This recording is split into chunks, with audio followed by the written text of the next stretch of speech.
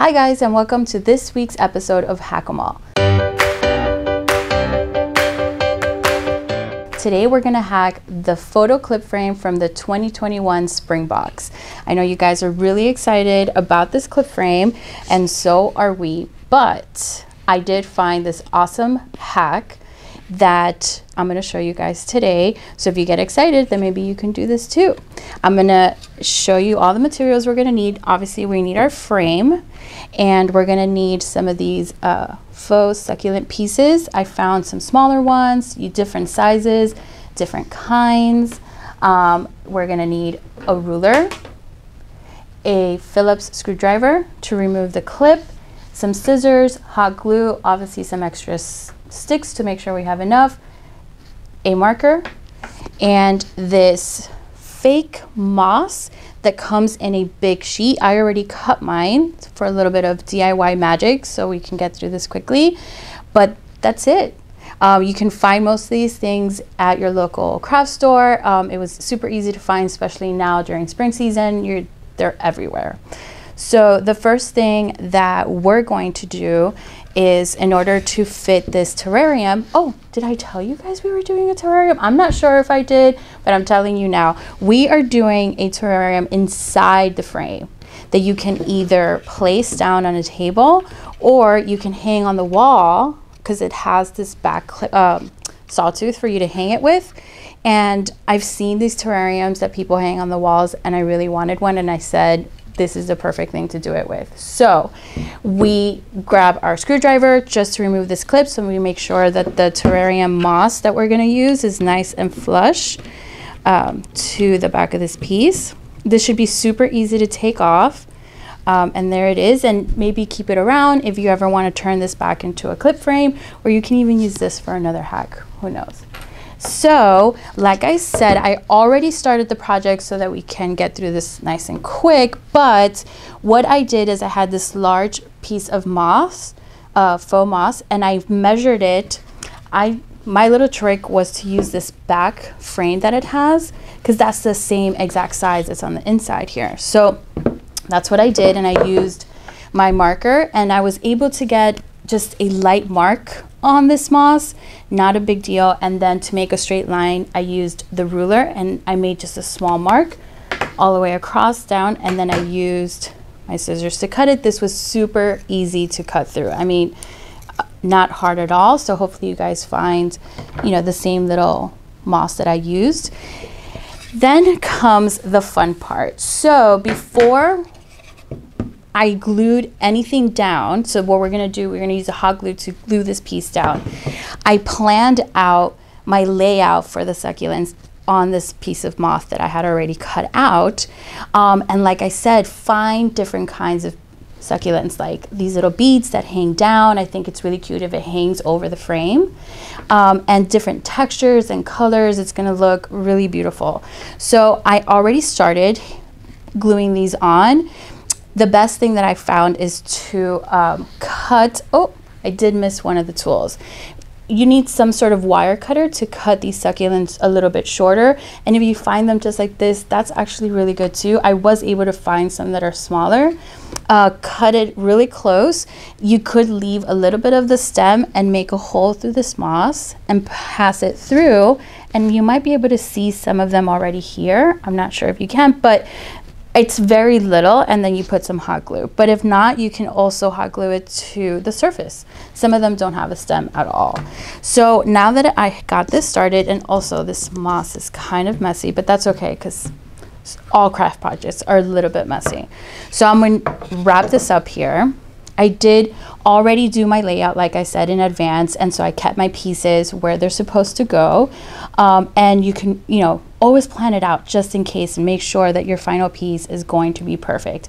Also, a little advice that I learned as I was doing this is that if you have these longer stems but you want them to tuck in, remember to always put those pieces first and you want to hide some of it with these bigger pieces um, that would be advice. I, I think I learned that the hard way, which is probably why I'm explaining it to you guys.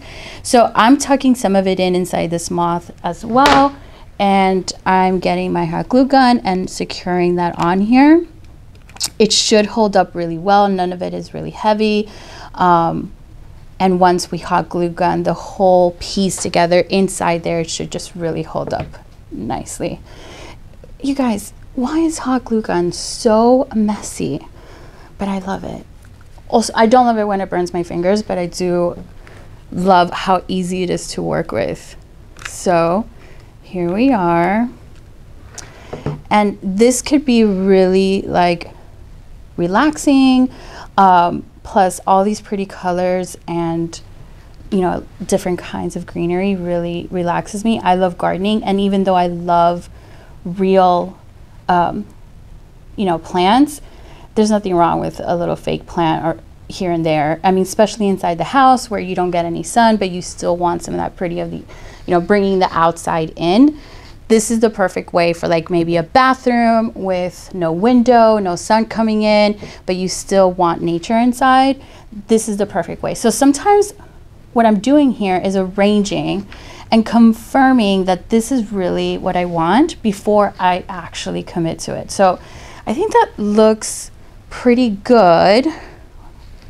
Um, these pieces are already glued in. I think I really love that. I'm really liking the way that some of these pieces come off the moss because I know they're going to come off to this frame right here. So that will make it nice and sort of realistic because if you guys grow succulents, which I do, you'll know that they start going wild and they'll just go everywhere. So I'm pretty in love with this and I can already tell that I'm going to want to cover this stem right here. So I'm going to start with these pieces first and use these three to cover that.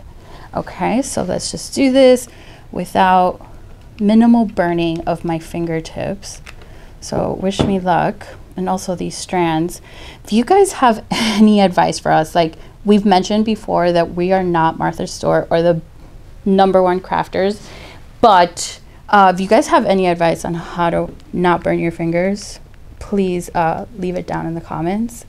I will be looking for that. And if you guys have any advice ever for anything that we do, if you see that we can do it better, all our other subscribers or deco creators are looking i just burned my finger you guys are looking at the comments and you guys can share any advice that some of you have. I know that some of you are expert diyers i can see it in the Decocrated page on facebook called uh, the Deco Creators, where uh, you guys share all your beautiful homes with us and all the um, stuff that you do with the items that we send you. And then you can check out the Deco Hacks community page on Facebook, where we share this kind of stuff and then you share with us.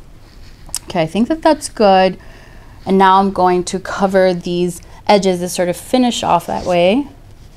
I think that I had mentioned that we could make a hole so that we can fit this little stem in. Let's see if I have to do that. I think I might be able to just stick it in there, but it could be helpful to put it all the way through and it could, you know, really stay on there.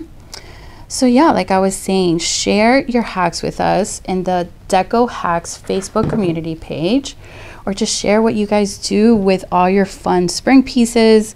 Um, and if you guys get inspired to do this, please share it with me. I would love to see what you do. All right. So this hack really uh, was not time consuming at all. I did have some hack magic that we're calling it here, and I had some stuff ready. But before then, it wasn't that long to begin with. So um, I think what took the longest for me was really getting a layout that I loved. And um, this part right here where we're gluing each individual piece and making sure that it's perfect. All right. So I'm to let that sit for just a little bit. I'm sure it'll dry really quick. And all these like hot glue gun strings, I'm to clean them up right now. And just make sure that this dries and that it's going to stay. So I ended up with an extra piece and that's okay. I'm sure I'll find another project. So I'm gonna hold it up so you guys can see and maybe even test that everything is staying on.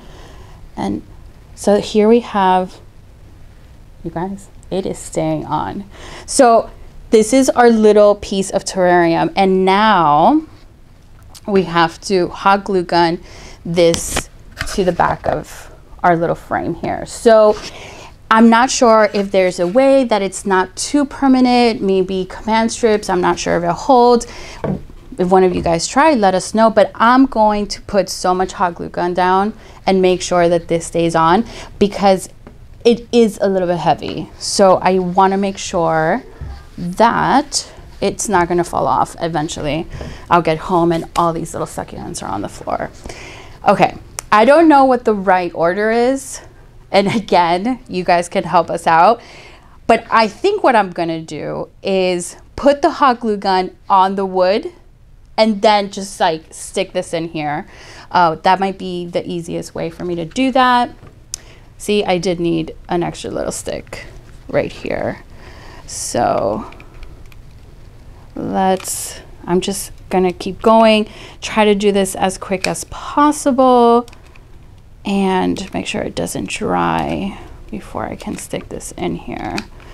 The last thing I want is for me to do all of this and then I put it in and it falls during this video. Okay. Probably should consider getting a larger hot glue gun. I think I think we've reached a professional level. This one's a little bit small. Okay, wish me luck, you guys. So even though I measured, it's still a little bit over, but I think that that's good. That should be okay. And they are pretty sturdy faux succulents, so if I have to press down on them so that the backing stays, I think that that is going to be okay too. So I'm, I am pressing down on some of these succulents, making sure that the hot glue gun I place down on the wood makes contact with the back of this moss. I'm really loving this. And the whitewash finish on this frame is looking super nice with the screen. Okay, just hold on. Don't want anything falling when I reveal my final piece, but I'm really excited. Okay, checking it before you guys see it. You guys, how stinking cute is that? I'm in love. This is amazing. Made very little mess, okay, maybe a lot of mess, but only burned one finger, no big deal, super fast. You can find all this stuff. I'm sure right now during spring season, it's going to be super easy to find this stuff. It doesn't even have to be succulents. You guys could do flowers. I mean, it could be a beautiful little flower arrangement for a centerpiece. So I hope you guys enjoyed this deco hack and uh, join us for another hack-a-mole soon. Uh, and we'll be hacking some more spring items. And don't forget to share things with us. Thanks for joining us. Bye, guys.